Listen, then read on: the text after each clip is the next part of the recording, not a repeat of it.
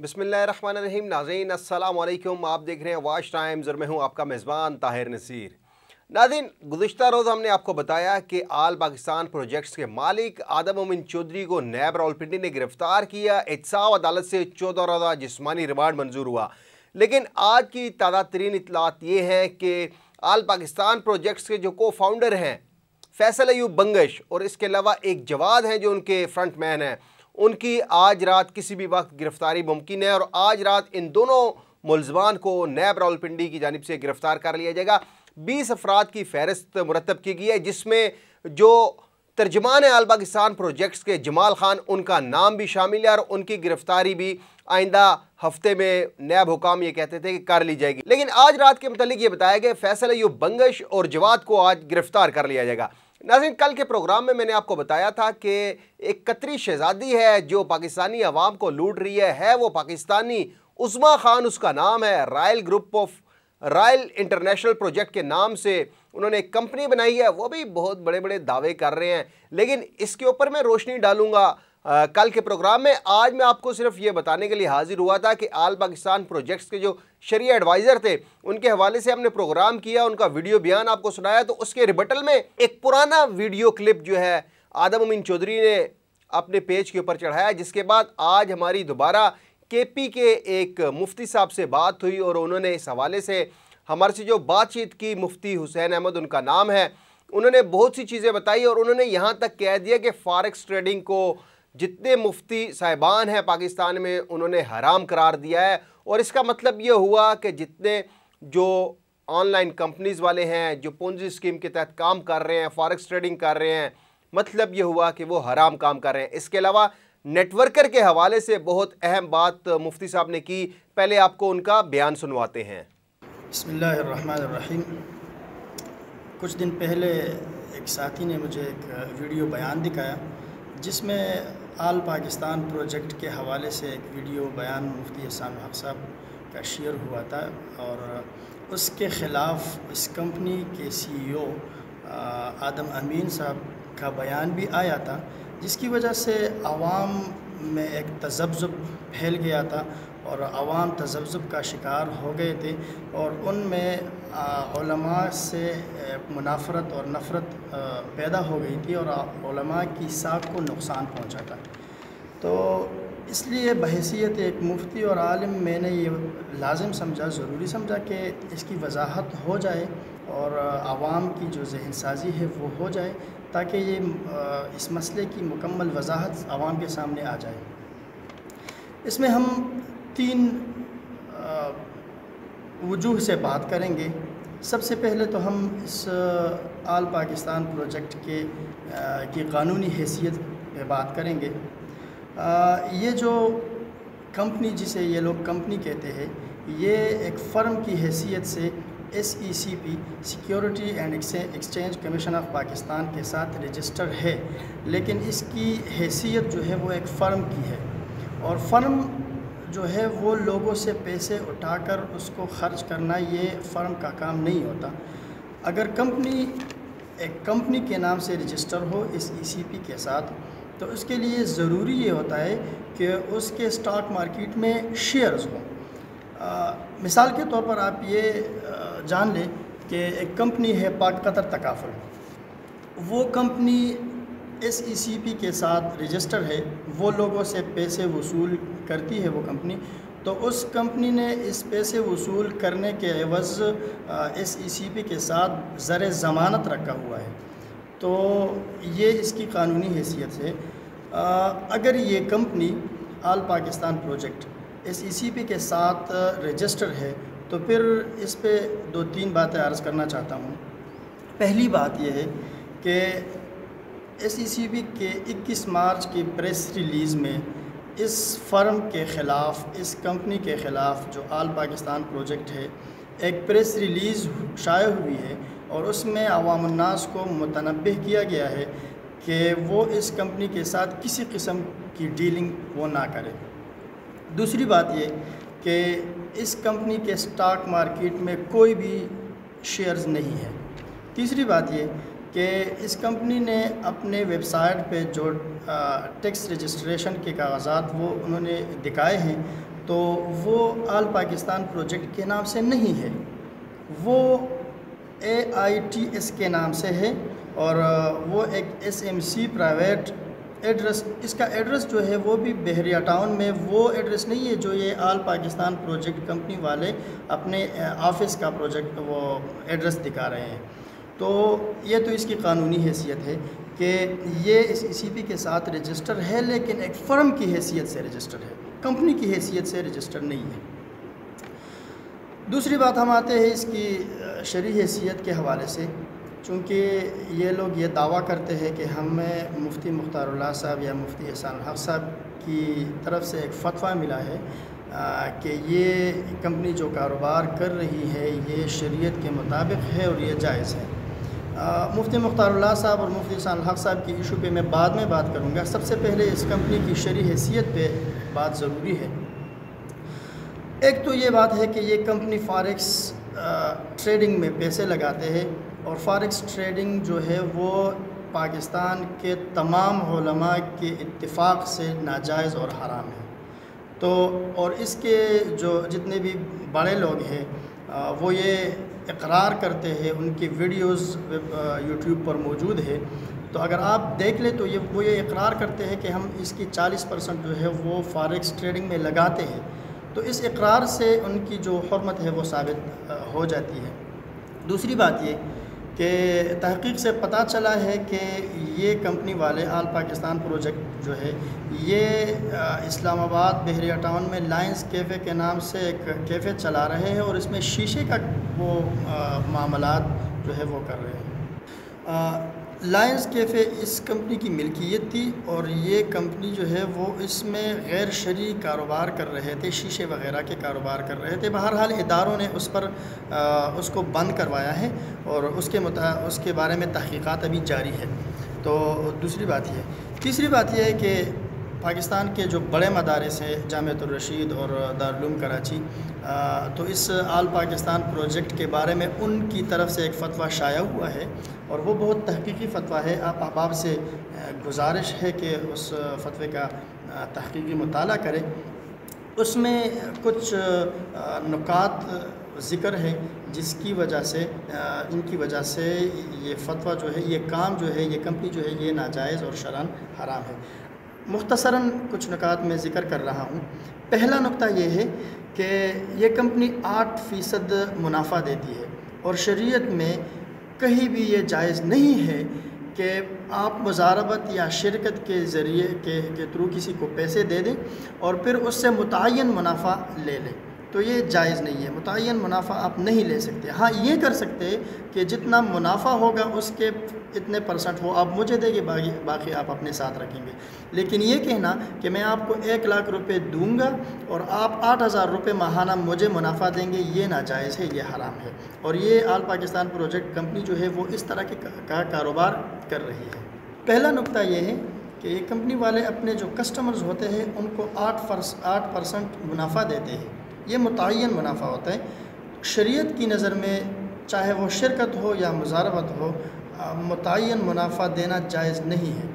चूँकि ये कंपनी अपने कस्टमर्स को कम से कम आठ परसेंट और ज़्यादा से ज़्यादा अट्ठाईस परसेंट तक मुनाफा देते हैं तो ये शरी एतबार से जायज़ नहीं है। ये बात जायज़ है कि आप अपने कस्टमर से ये कह दें कि मैं आपको मुनाफा में इतना परसेंट आपको दूँगा और बाकी मैं अपने साथ रखूँगा। लेकिन इसके बरक्स ये कंपनी वाले कहते हैं कि जितने पैसे आप दोगे मतलब आठ लाख, एक लाख रुपए आपने दे दिए तो मैं आठ हज़ार से लेकर अट्ठाईस हज़ार रुपये तक मैं आपको माहाना मुनाफा दूँगा। ये मुतन मुनाफा शरीय के अतबार से शरीय की रूह से नाजायज़ है। दूसरी बात यह है कि ये कंपनी वाले अपने कस्टमर्स को नुकसान में शरीक, शिरकत नहीं देते। शिरकत हो, चाहे शरी एतबार से या मुजारबत हो, दोनों में जो रसुलमाल जिस आदमी का होता है, जो रब्बुलमाल होता है, जो कस्टमर होता है, वो शिरकत में नफ़ा और नुकसान दोनों में शरीक होगा। तब ये मामला जायज़ होगा। ये कंपनी वाले उस शरीक को नुकसान में शरीक नहीं करते, अपने कस्टमर को। लिहाजा ये मामला शरी एतबार से नाजायज़ है। तीसरी तीसरा जो नुकता है, वो ये है कि जब कस्टमर अपना रकम निकलवाते हैं तो ये लोग, इनकी एक शर्त ये भी है कि रकम निकलवाते वक्त ये लोग उस रसुलमाल जो असल माल होता है, असल ज़र होता है, उससे कुछ रकम अपने पास रख लेते हैं। ये शर्त लगाना शिरकत और मुजारबत दोनों में नाजायज़ है शरी एतबार से ये हराम है। चौथा नुकता ये है कि उस जामरशीद के फतवा में भी ये लिखा हुआ है कि ये लोग फॉरेक्स एक्सचेंज में फॉरेक्स ट्रेडिंग में काम करते हैं और फॉरेक्स ट्रेडिंग इतफ़ाक़ से नाजायज़ और हराम है, लिहाजा ये चीज़ ठीक नहीं है। पाँचवा नुकता ये है कि ये कंपनी जो है, ये मल्टी लेवल मार्केटिंग का काम करती है। और मल्टी लेवल मार्केटिंग जो है वो के इतफ़ाक़ से, चूँकि ये लोग इनकी शराइ को, जो इनके शराइ है मल्टी लेवल मार्केटिंग की, वो फॉलो नहीं करते। लिहाजा इसके आदम जवाज़ का फतवा देते हैं कि ये जायज़ नहीं है। अब आते हैं इस इशू की तरफ़ कि मल्टी लेवल मार्केटिंग ये होता है कि ये नेटवर्कर होते हैं, कि ये इनके लिए नेटवर्क बना देते हैं कि लोगों को जानसा देकर वो लाते हैं और उनसे पैसे लेकर फिर उनको वो करते हैं, कंपनी में शामिल कर देते हैं। असल में ये जायज़ इसलिए नहीं है कि शरीयत में उजरत एक अमल का दिया जाता है। जो उजरत होती है, वो एक अमल के मुकाबले में दी जाती है। यहाँ जो नेटवर्कर होते हैं, वो एक आदमी को तो लेके आते हैं, उनको इसकी उजरत मिलनी चाहिए, ठीक है, लेकिन उसके बाद जो नेटवर्क बढ़ती जाती है तो उनके जो पैसे होते हैं उनमें से जो परसेंट परसेंटेज इस नेटवर्कर को मिलती है तो ये जायज़ नहीं है शरीयत के अतबार से। ये क्योंकि ये उजरत का मामला है और उजरत में यहाँ अमल शामिल नहीं है तो ये आ, मामला जो है वो जायज़ नहीं है। अब इन नुकात की रू से इस कंपनी में सरमाया लगाना जायज़ नहीं है और इससे जो हासिल होने वाली आमदनी है वो हराम है और वो जायज़ नहीं है। आवाम को चाहिए कि वो इससे बचे और ख़ुद अपना जो माल है उसको हराम होने से बचाए। अब आते हैं तीसरे इशू की तरफ़ कि इनको दारुल हक़ानिया की तरफ़ से मुफ्ती मुख्तार साहब ने फतवा दिया है या मुफ्ती हक साहब ने इनको फतवा दिया है या ये लोग ये दावा करते हैं कि मुफ्ती हक साहब या कारी मोहम्मद यासर, काजी मोहम्मद यासर साहब इनके शरिया एडवाइज़र है तो इसकी थोड़ी सी वजाहत करते हैं।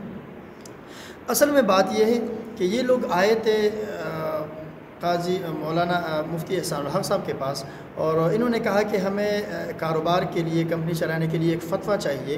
तो उन्होंने मुफ्ती एहसान हक साहब ने इनको दारूम हक़ानिया कोड़ा खटक ले गए। वहाँ पे इन्होंने मुफ्ती मुख्तार साहब को जो कंपनी के मामलात के बारे में कुछ बताया होगा। उस, अब वल्लाम क्या बताया है? मुफ्ती मुख्तार साहब ने एक फ़तवा दिया है इनके लिए कि ये जायज़ है। अब उस फतवे में दो चीज़ें हैं।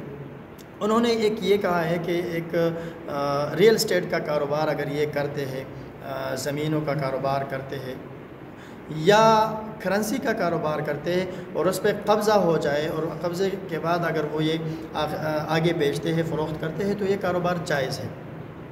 ये लोग उसके बाद मुफ्ती एहसान हक साहब के पास आ गए कि फ़तवे में जो आ, मुश्किल अल्फाज है अरबी के वो आ, हमारे लिए आसान बना दे। मुफ्ती सान हक साहब ने आ, हमदर्दी की बिना पर इनके लिए वो फतवा दोबारा लिख लिया दारुल का जो फतवा था वो दोबारा लिख लिया और ये लोग वहाँ से चले गए।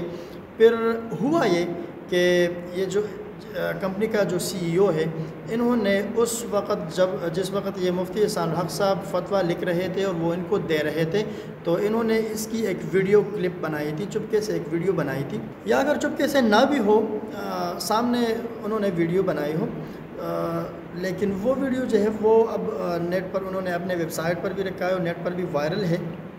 उनमें, उसमें ये शो किया गया है कि मुफ्ती सान हक साहब जो है वो इस कंपनी आल पाकिस्तान प्रोजेक्ट का शरी एडवाइज़र है।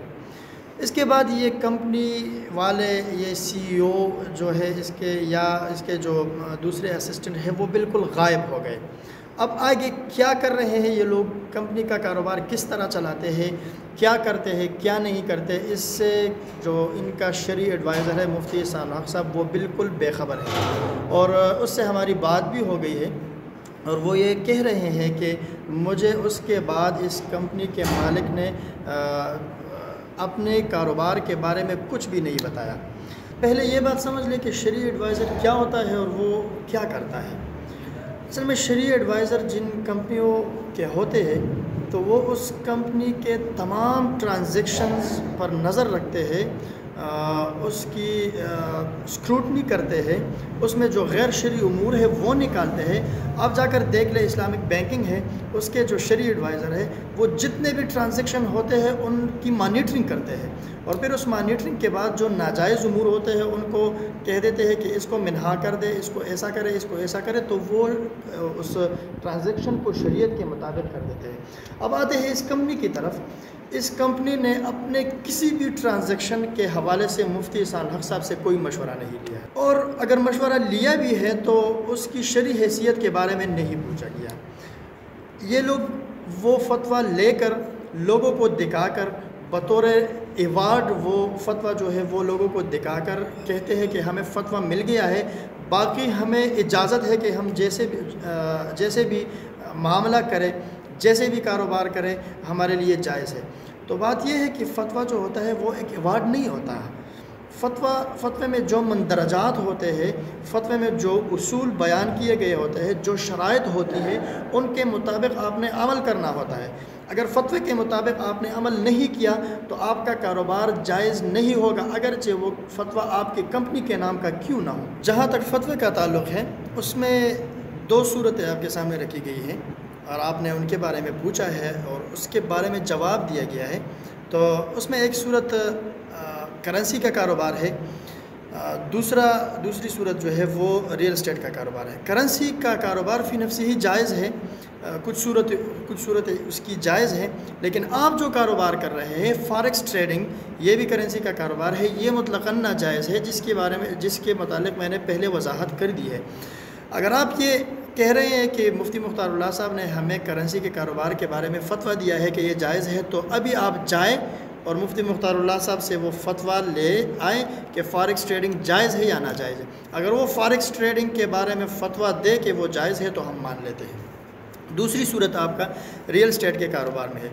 रियल स्टेट का कारोबार तो फ़ी नफसी ही जायज़ है, लेकिन आप जिन शराइ को सामने रख कर वो कस्टमर से पैसे वसूल करते हैं, वो आकद, वो ट्रांजेक्शन और वो जो सूरत है वो नाजायज़ है।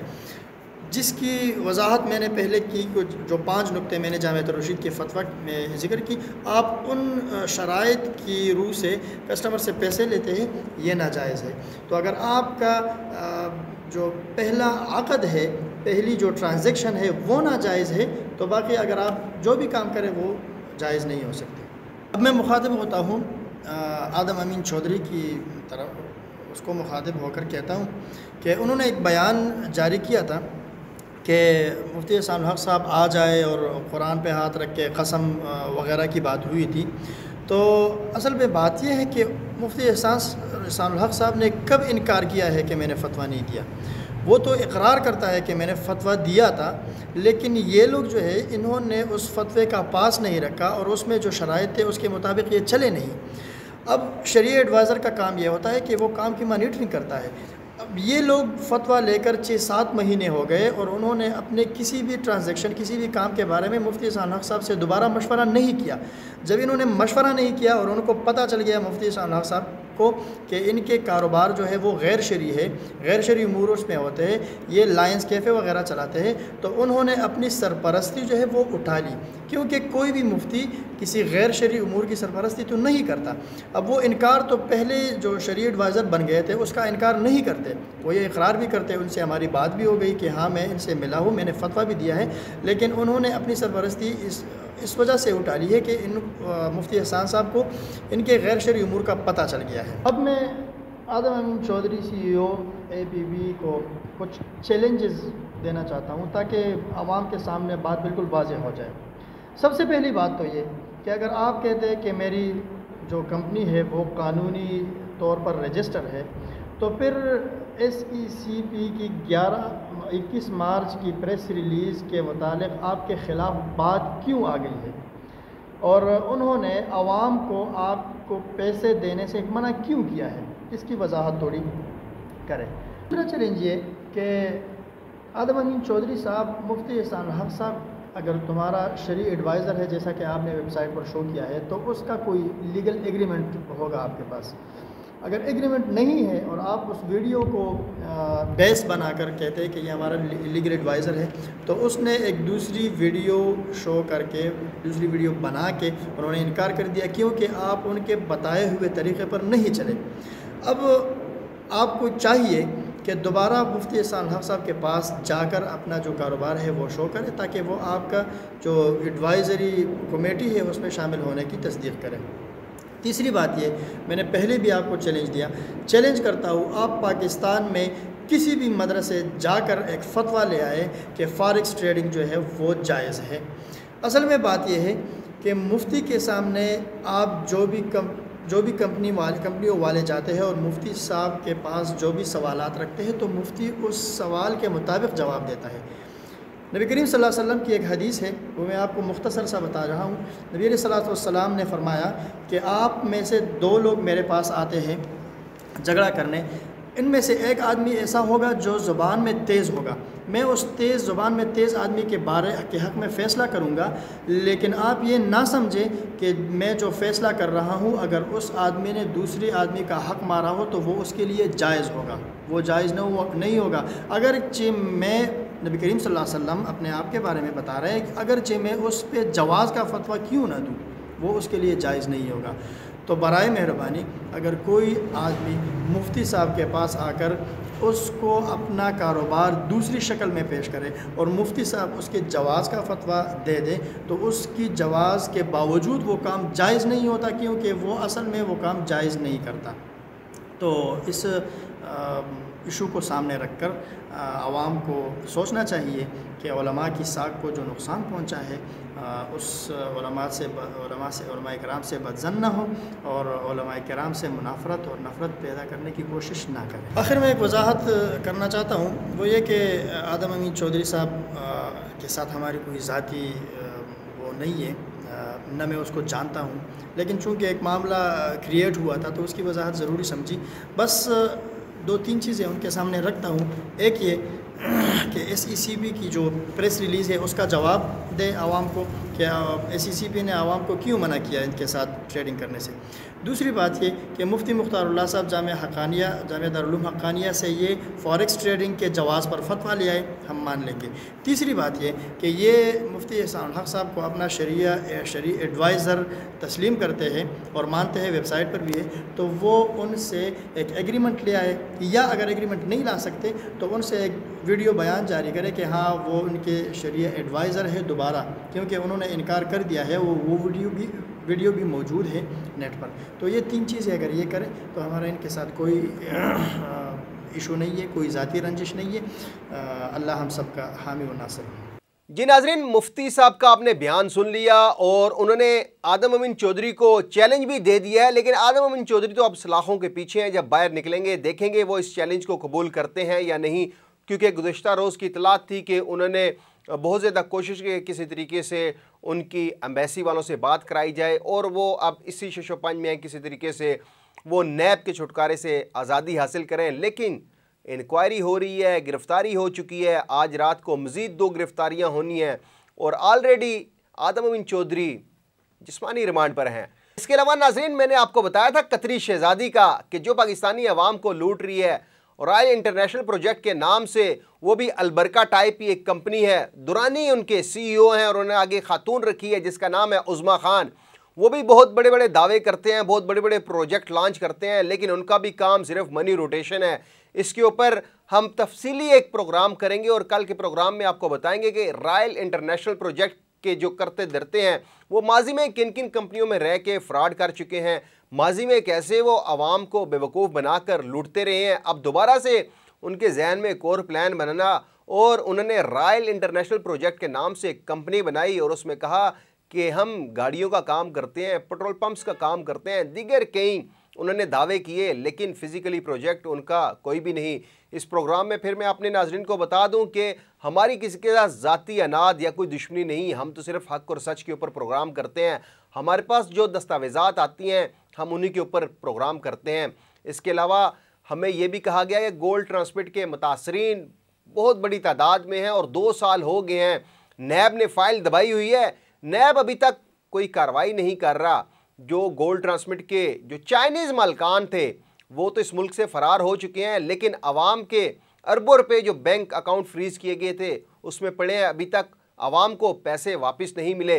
कुछ मुतासरीन से हमारी बात भी हुई है, उन मुतासरीन के साथ इनशाला मैं प्रोग्राम भी करूँगा और उनकी कोशिश करेंगे कि आवाज़ बने और नैब को मजबूर करें कि जो बैंक अकाउंट फ्रीज किए गए हैं, वो मुतासरीन को रकम वापस करे। अगले प्रोग्राम तक के लिए अपने मेज़बान ताहिर नसीर को इजाज़त दीजिए। अल्लाह हाफिज़।